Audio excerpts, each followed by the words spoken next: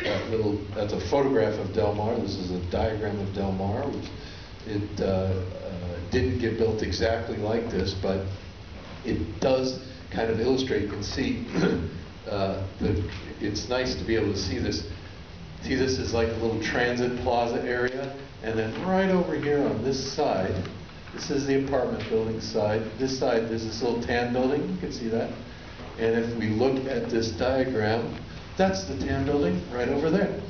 So that's the apartment building. So you can kind of see how it's a process. The reason it's in here is to show you the conceptual process we go through. We have to diagram these out, illustrate, uh, and they go through a lengthy approval process until they can actually be constructed. This slide is in here to give you an example of a project that is not a joint development project at all. It is a, uh, a TOD project. It is located at what is now called South Pasadena, it used to be called Mission. And this project involves single-family homes constructed by a developer uh, adjacent to our transit station. Our transit station is over here, across the street. There's some public art there, a little small mini pocket park.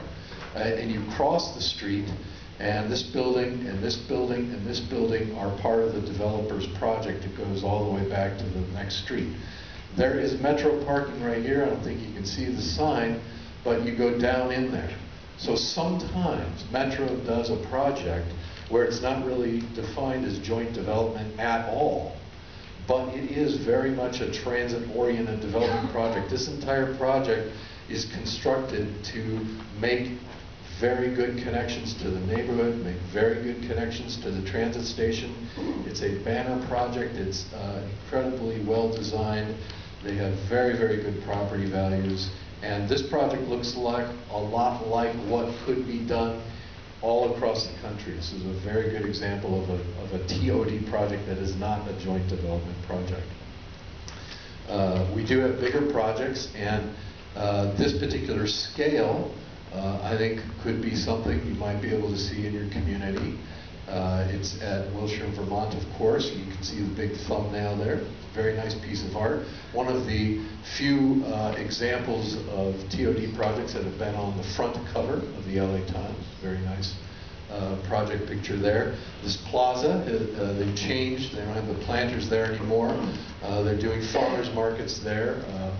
Uh, they, you know, have a little bit of growing pains and trying to figure out exactly how to use their plaza, but they're working on it continually. Uh, and if you ever go out there, it's very well used. There's a lot of traffic. There's a lot of ridership. That's exactly what we like to see in a project. This is a another banner project. Uh, these are relatively smaller uh, units. Uh, they're more affordable. They're kind of for urban urbanites. Uh, and you're going to have the opportunity to provide input. If you if you like what you see in a project like this, and this is the type of project you might want to see in your community, then that are the that is an example of the type of thing you would want to communicate, uh, not only to me but also to Maruzzi and Linda and everybody else that you have. Please say a command. With.